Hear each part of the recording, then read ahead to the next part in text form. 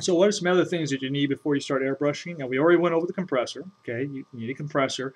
The PSI that you set it to is very, very dependent on what you're doing. If you're doing base coating or doing primering, if primering is a word, uh, you're going to want to set up pretty high. By pretty high, I mean 40, maybe even 50. If you're doing small jobs, you want to set pretty low.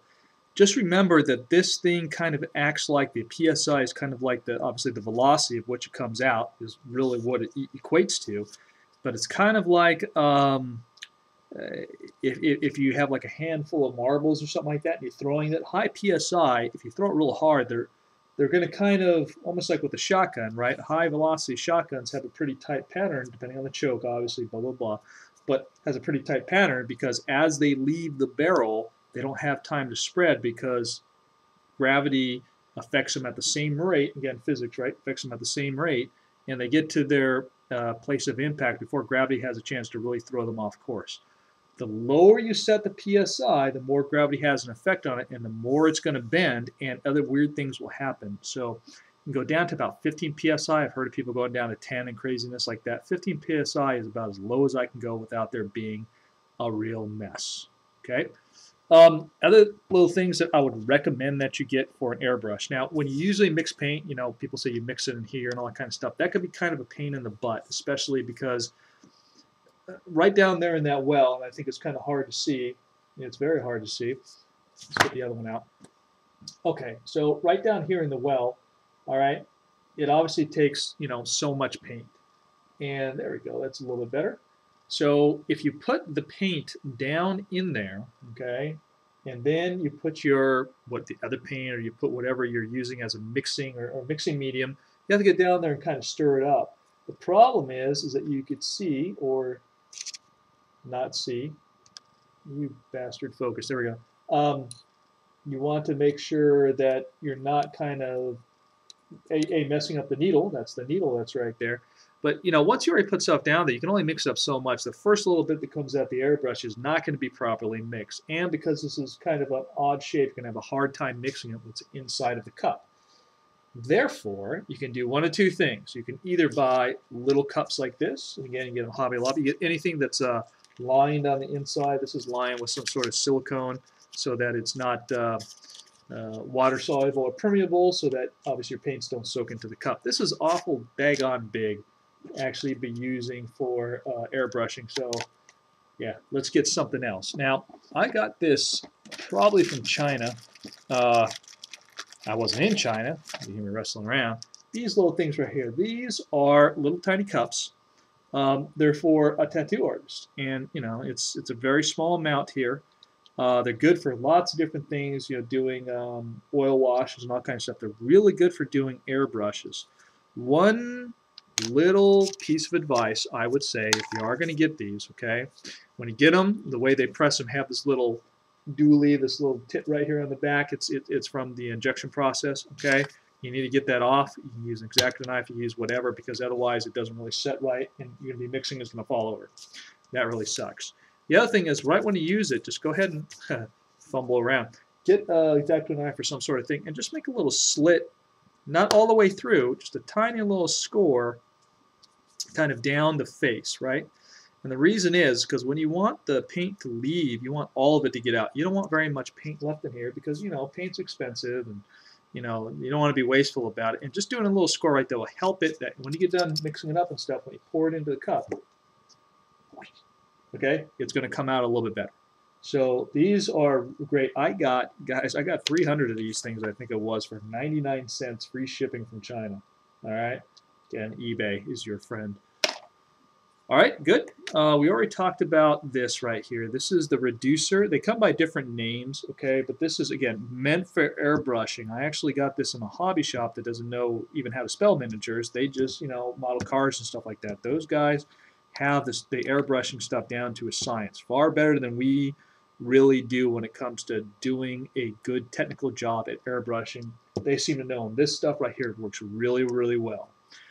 Uh, you go down to wherever, you get these little bottles. Now I prefer these dropper bottles than the normal eyedropper type ones like this.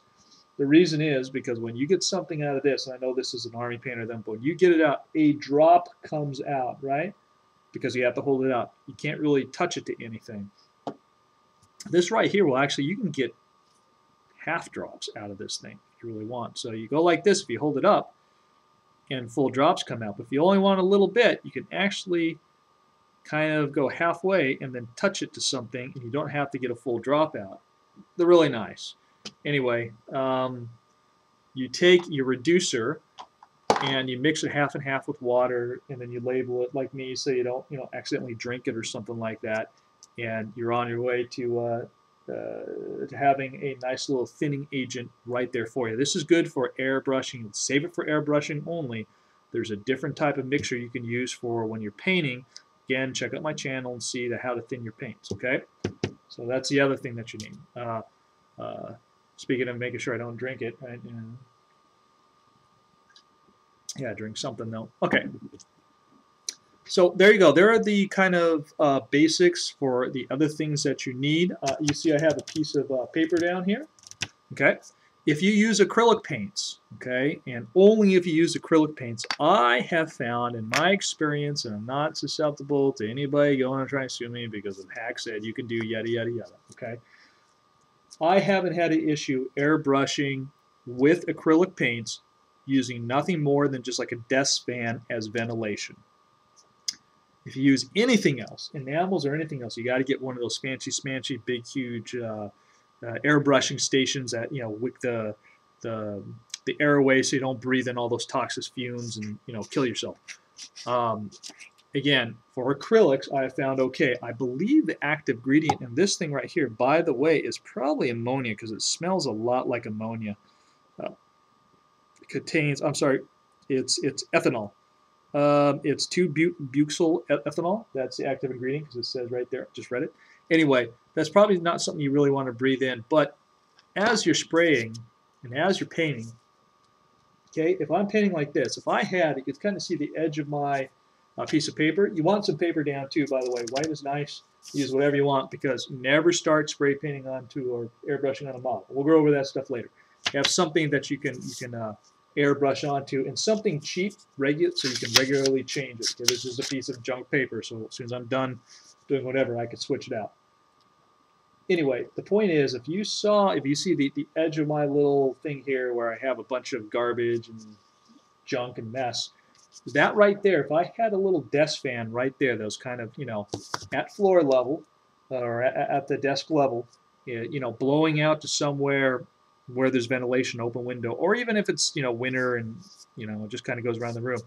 And so far, and I haven't you know keeled over yet, um, airbrushing with acrylics is okay, but you definitely want to have ventilation. Remember, there are more things that you airbrush with than just acrylics.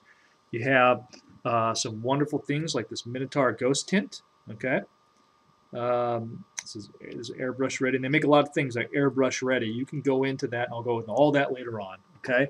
They have that. You don't really want to breathe that in, although it is still uh, water soluble. You have varnishes. Varnishes and airbrushing sometimes is good, sometimes, but again, you don't want to breathe that stuff in. You have primers. Uh, Army Painter makes some fantastic primers that you can use. Um, again, you don't want to breathe that stuff in, right? Uh, washes. You can even use washes through your airbrush. That's right. Tone, tint something. Uh, a wash will work like a glaze when you put it through your airbrush uh, kind of like just like the, the, the Minitaire stuff, the ghost tint right there. But again, I mean, you don't want to breathe this stuff in, guys. So make sure you have some ventilation, at least have a plan for ventilation. And uh, I think that's really kind of about it for all the side stuff that you need. Um, now let's talk a little bit about the airbrush itself, okay? I said before you need the thinner. Heed my warnings, please the most frustrating thing about airbrushing is not learning to do it, is not learning to air. It's actually a lot of fun. It's this damn thing clogging. I have been told that different levels of craftsmanship of um, airbrushes may or may not clog less, but everybody basically says they clog. Clogging, it just ruins your day because you're sitting here and you're have something in mind. So you're going and you're airbrushing, and then it stops coming out. And you pull back a little bit on the thing and nothing comes out. So you pull back a little bit more and all of a sudden this huge friggin' snot wad comes out of paint, goes all over the place, makes a huge mess. And then you kind of get it and you're pulling back on it until you get the, uh, the level that you uh, want again, the, the finite detail line that you want with an airbrush. And it's starting to flow again. You go back on your model and nothing happens. And you're like, what the hell? And you go like this and big ball comes out again. And then you go back onto your miniature. And eventually what's going to happen is you're going to be doing this number you'll be, you know, starting it off because always start. we'll go over this. Always start off the miniature. You'll get your line going. You come in. You'll and nothing will be happening. So you go off on off on, you know, and you're kind of doing this we're working the paint out stuff like that. And you come on again, and then all of a sudden you pull it, and a big snot ball go all over your miniature, and you, well, that's enough of that business.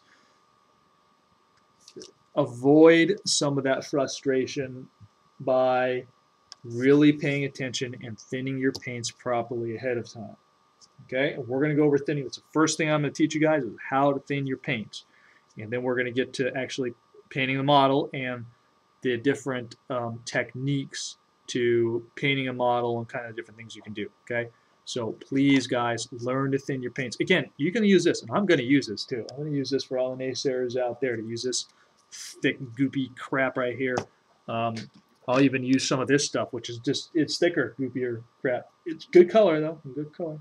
Um, I'm going to use this stuff, and I'm going to thin it down for you guys so you can see exactly what you need to do, because thinning your paints in air, if you think it's good for normal painting, or important for normal painting, for airbrushing, it's absolutely critical to get done right. Trust me, even when it's super thin, this sucker right here is going to put a beautiful coat of paint on your miniature every time. You don't even need to worry about it um, it's a really great thing. Okay, so now we're going to talk about in the next video the approach to um, airbrushing, and the approach is very important. So please stay tuned.